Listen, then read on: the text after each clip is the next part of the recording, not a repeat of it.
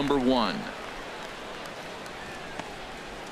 The right fielder, number 16. Digging in to try Domingo it again. Domingo Santana. Santana. One for two with a double on the ledger so far.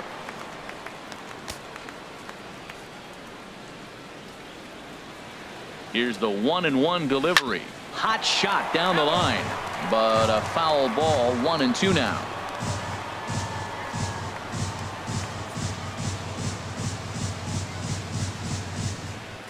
The one and two pitch. To two balls and two strikes now. I got to count two and two.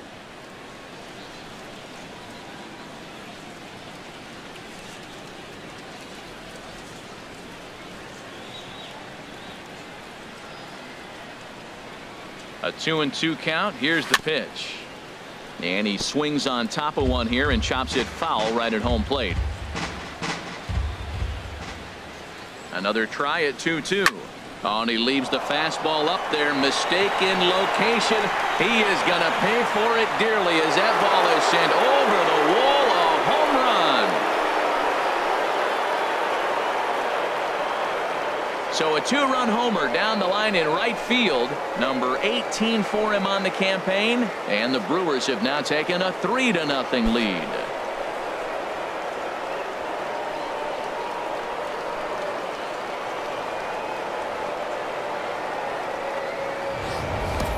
Well, he tried to sneak a fastball by him, and like they always say, you can't sneak the cheese by the rat, particularly if it's up high like that one right there.